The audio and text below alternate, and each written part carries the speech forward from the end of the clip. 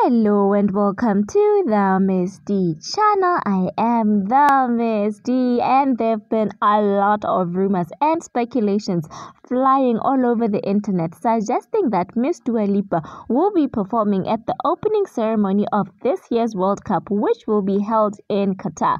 Well, it looks like she wasted no time because she went onto her social media to clear everything up for us. This is what she posted. There is currently a lot of speculation that I will will be performing at the opening ceremony of the World Cup in Qatar.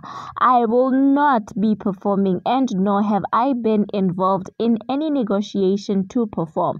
I will be cheering England on from afar and I look forward to visiting Qatar when it has fulfilled all the human rights pledges it made when it won the rights to host the World Cup. One love signed Dua. Well, I guess some fans are disappointed. Do you care? Do you not care? What are your thoughts? Don't forget to comment like, and subscribe, and I'll see you later.